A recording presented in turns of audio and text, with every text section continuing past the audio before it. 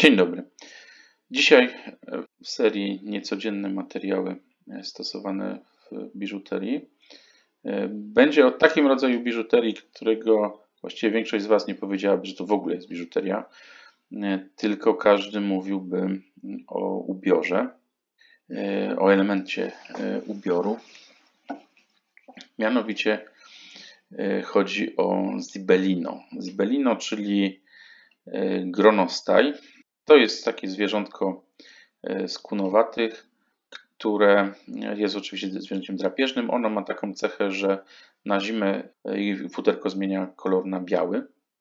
Już pokazuję, skorzystam z, z Wikipedii, ponieważ najłatwiej mi pokazać Zibelino na podstawie tego, co jest zgromadzone w Wikipedii. Mianowicie w czasach renesansu i baroku kobiety zaczęły używać skórę zibelino jako, jako element zdobniczy. One były pierwotnie same skórki, tam powiedzmy na sobrożą i ze smyczą złotą, albo w każdym razie ozdobną smyczką. Później w miarę rozwoju zaczęto wykonywać łapki oraz głowę z, z metali szlachetnych. Już pokazuję Wam ten obraz. Tutaj widać właśnie taką, taką skórę gronostaja, która jest z głową wykonaną z, ze złota i z kamieni szlachetnych oraz złote łapki. No i oczywiście zdobny łańcuch, zdobna smyczka, na której można było tą ozdobę trzymać. Jeżeli chodzi o gronostaja i o tą jego białą barwę w okresie zimowym, to w tamtym czasie był to atrybut, była to biżuteria, która symbolizowała czystość, czyli, czyli kobiety, które nosiły tego rodzaju ozdobę, miały, chciały pokazać wszystkim, że są czyste. Gronostaja generalnie używano do podniesienia wagi czy zwiększenia zaufania do urzędu. Mianowicie król, czy w ogóle możnowładcy mieli peleryny albo płaszcze wykonane w całości z gronostajów, ewentualnie jakieś fragmenty wykonane z gronostaja. I, I to właśnie symbolizowało czystość urzędu, czy czystość sprawowania władzy.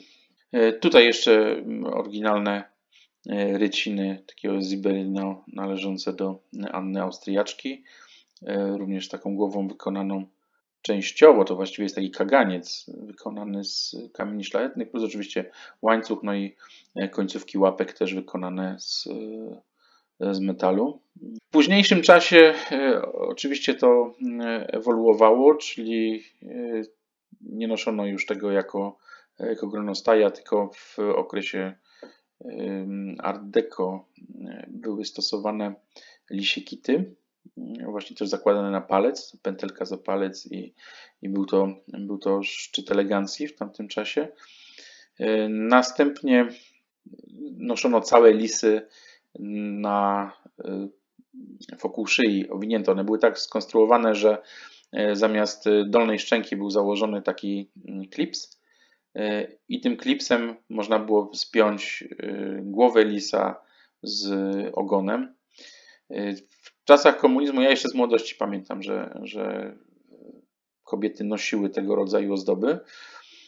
Nazywało się to już kołnierz lisa, nie było to już zibelino ewidentnie było to już w tamtym czasie traktowane jako element ubioru, a nie jako naszyjnik. Generalnie należałoby to traktować, jeżeli była to biżuteria, no to należałoby traktować jako naszyjnik. Tutaj mówiono o tym, o tym kołnierz z lisa.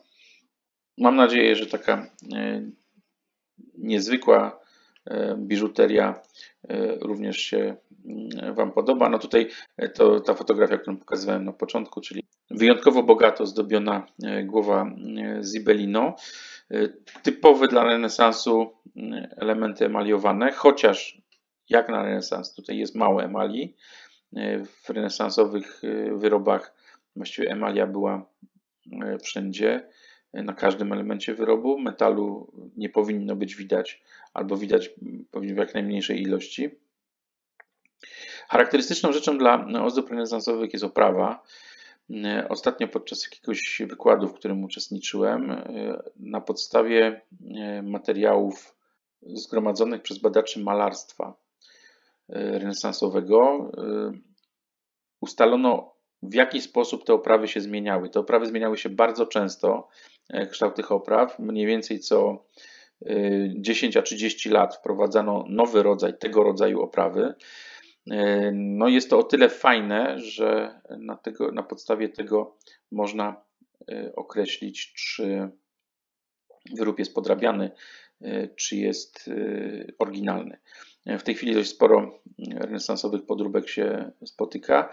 No jak się okazuje, na podstawie oprawy kamieni można ustalić, czy to rzeczywiście może być oryginał czy podróbka. W podróbkach oprawa samego kamienia nie będzie pasowała do, do reszty dzieła i dlatego może być wtedy problem z taki pozorny problem z wydatowaniem.